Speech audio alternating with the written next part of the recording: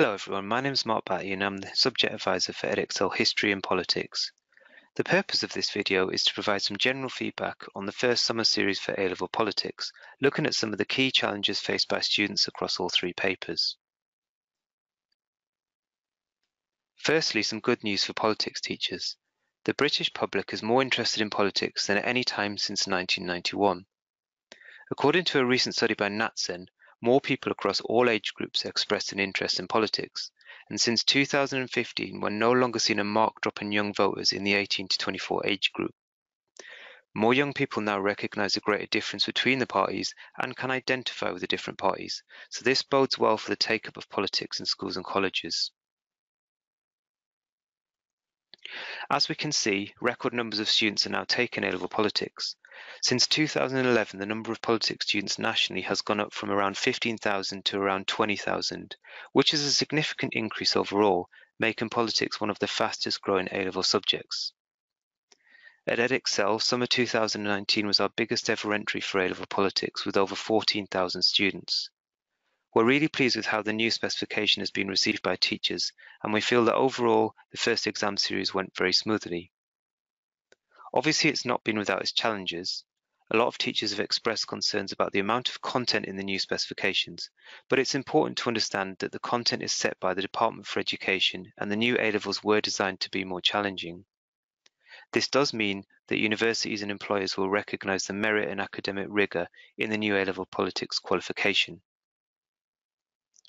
At Pearson, we've worked hard to support you through the teaching of the new specification by providing a lot of free support and guidance, and in this video I'll be able to give you an update on some of the new materials available to you this term.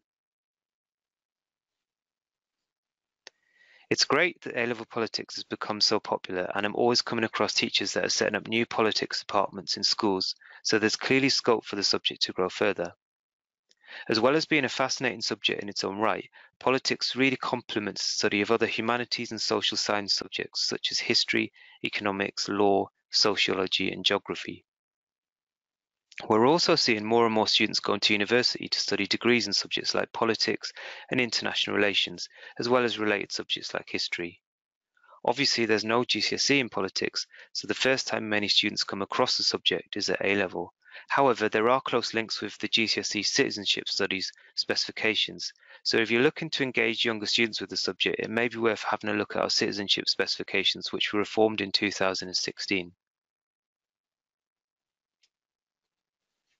For teachers who are new to our specification, I just want to provide a brief overview of the qualification structure and which options are available.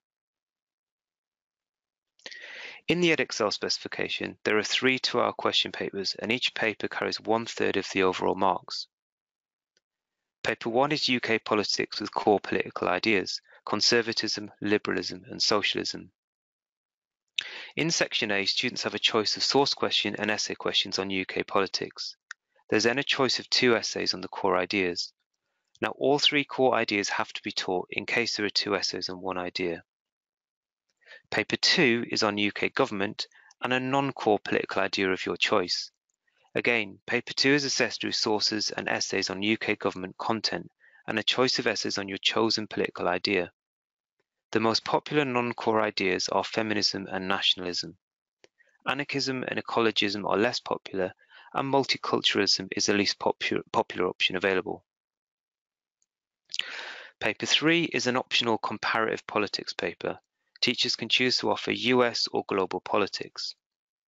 Last summer, we saw just under 10,000 entries for the US option and almost 4,500 entries for global. We were really pleased with the entries for global politics, as it's never been as popular in the old specification. So clearly, the availability of published resources has really helped make it more popular, and it's good that teachers have the choice available in our specification. We're now going to have a quick look at the assessment objectives which underpin the assessment of the new specification. These were developed in consultation with Ofqual and the other awarding organisations and they're common to all politics specifications. They govern how marks throughout our assessments are allocated. It's worth becoming familiar with them as they guide question structure and will be referred to when looking at assessments and mark schemes. Note the difference between the weightings of AS and A level. The demand is different at A-level with more emphasis on AO2 and AO3. This is therefore reflected in the demand of the A-level questions and should be demonstrated by teachers in their teaching. There are some other changes from the old politics course which is worth mentioning. The old AO3, which dealt with the use of correct vocabulary and communicating coherent arguments, has disappeared. Now we ensure that students are rewarded for correct use of vocabulary and how they structure their arguments in the level-based mark schemes which apply to all extended answer questions. The old AO2, which dealt with analyse and evaluate, has now been split, as you can see on the table, into two assessment objectives, AO2 analyse and AO3 evaluate. If we consider how the new assessment objectives performed this summer, AO1 and AO2 presented little difficulty with students often demonstrating clear evidence of knowledge and understanding and good analysis. However, AO3 was an area of weakness for a lot of students across all three papers. Remember that AO3 is no longer a lesser mark for communication, it's now an equal partner for marks with the other two AOs, which means that the students need to ensure their essays are sufficiently evaluative to meet this new demand. To score highly, AO3 must be evident throughout an answer, it can't be ignored or given scant coverage. Students also need to ensure they form a judgment and reach a verdict, presenting a reasoned conclusion. We saw a lot of candidates sitting on the fence and failing to do this. That doesn't mean that students can't present sophisticated arguments. It just means that they have to reach a verdict. It doesn't matter if the verdict is by a large margin or a small one. They have to take sides and the essay can never be a draw. One way of doing this is to construct mini conclusions for each argument. There may be winning and losing arguments on both sides, and some may be close, but in the end, they have to get to a winning side, a conclusion to the entire debate. We get a lot of queries from teachers asking how we want students to structure their essays. Pearson Edexcel does not insist or recommend that there is only one form of essay writing in which to frame responses. There are a wide range of approaches and methods which are all perfectly valid. The key thing is that all students are different and they need to follow an approach that suits them, provided they meet the required assessment objectives. Some students may prefer to take the approach of looking at points for, then points against, then providing an overarching conclusion. Now this is fine, but students do need to make sure that they are meeting the requirements for AO3. An approach which looks at kind of point, counterpoint, then mini conclusion, sewing in AO3 as the essay progresses, may help the students get the one third of the marks for AO3, but obviously it's a more challenging way of writing an essay.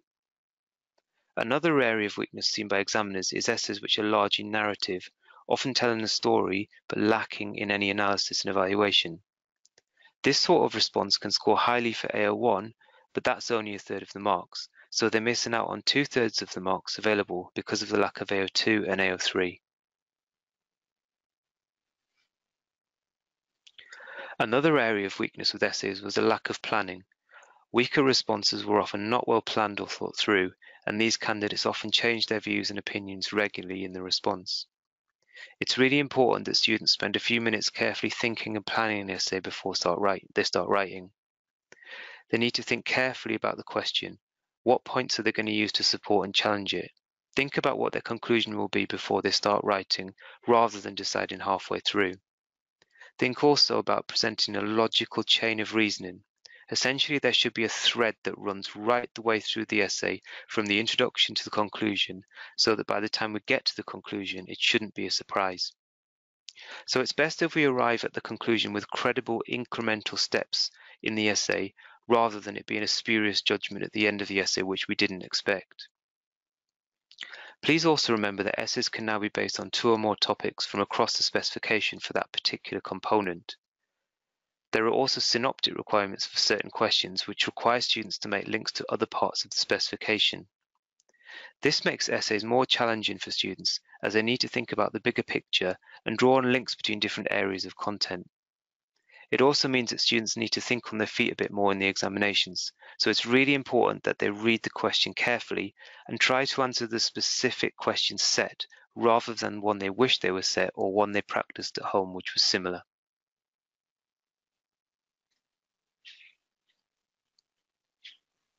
Papers 1 and 2 both contain 24 mark essays on ideas. In paper 1, it's the core ideas, and paper 2, the non-core ideas. With both the core and non-core political ideas, students must refer to appropriate thinkers to support their answers. Each political idea has five named key thinkers in the specification, which is stipulated by the DFE. Candidates who do not refer to at least two of these key thinkers in their responses cannot get above level 2 in the mark scheme. They are free to use other key thinkers in addition, as long as they make sure they include two from the spec for that specific idea. It was pleasing to note that most students were able to include relevant key thinkers in their responses, and few students were affected by the cap. It's worth noting, though, that the better responses didn't simply name drop the key thinkers, but they actually explained their contribution and importance to the idea. Another challenging aspect of assessment was the 30 mark source question, which appear in paper 1 and paper 2. Every source will contain a contested issue. So, for example, in paper 1 this summer, there was a source which considered whether the outcomes of general elections are predictable or whether they can spring surprises, making the results more volatile. So there'll always be competing alternatives which have to be detailed for AO1, analysed for AO2, and then a verdict needs to be reached on which is stronger and why for AO3. Many students treated the source question as more of an essay, ignoring the points provided in the source. Another area of weakness was to give a binary debate but offer no real judgment or conclusion. Some students veered too far away from the content of the source in their responses. Examiners could reward this for AO1 provided it was relevant to the question, but it's not permitted as a means of gaining AO2 or AO3 marks. So to clarify, AO1 is about identifying the points from the source clearly and correctly and providing relevant supporting information and exemplification from your own knowledge. It's also possible to bring in own knowledge to develop or build on points in the source or to provide counterpoints. The crucial thing is to avoid introducing new own knowledge which has no linkage to the source. This needs to be avoided. All AO1 points considered must link to the points in the source to get credit for AO2 and AO3. So the marks for AO2 and AO3 cannot be rewarded for material that has no linkage to the points raised in the source. The AO2 analysis must be balanced, so both sides of the argument must be considered when examining the issue in the question. Some candidates simply agreed with one side in the debate and failed to provide academic evaluation to reject the opposing view. However, the key thing which limited responses was a failure to commit to one side and say why that side was stronger. The AO3 requires a student to reach a judgment on which side of the binary debate they support. As with essays, they can come down heavily on one side of the debate, or they can say it's a very close call, but they do have to make a call on which side is stronger and say why. They cannot study politics for two years and then have no justified opinion on contested issues such as our electoral system or party system. Okay, so that concludes our general feedback on the summer series. We'll be providing much more detailed feedback in our pre-recorded feedback events, which will be available on our website around Christmas time. There'll be a one event for each paper and they'll contain marked exemplar work. We've also got a lot of support for teachers already available on our website and more coming soon. The summer 2019 question papers, mark schemes and examiners reports are available now on our website and the examiners reports contain exemplar work with comments. There's lots of assessment guidance and FAQs available online too, such as templates for students to help approach different question types, and a summary of assessment of each question type, which tells you things like whether a conclusion is needed or whether there are synoptic links. We've recently posted some guidance on A-level source-based assessment and some further advice about synopticity comparisons and links in question papers. If you need help in finding any of these materials, please feel free to contact us for advice. You can also email in any specific questions, which will be answered by our subject advisor or senior examiners through Ask the Expert. Don't forget that you can still use Results Plus to analyse your students' performance from the summer exam series, and our free access to script service is available until 13th of December this year. As well as the pre-recorded training events, we're also running some online events for teachers who are new to Edexcel A-Level Politics, and also some events looking in more detail at the assessment objectives and how they're applied when marking exemplar scripts. You can book a place on these events via our training page. If you're interested in becoming an examiner for politics, you can apply online. We're always looking for new examiners, and it's a great way of developing an understanding of the mark schemes and the assessment objectives. If you have any specific questions, please feel free to contact us using the form on our website. The links are shown on screen. You can also sign up for regular email updates so you can keep up to date with any news, training events and support documents. That concludes this session reflecting on the first series of politics exams. Thank you for listening and I hope you found it useful.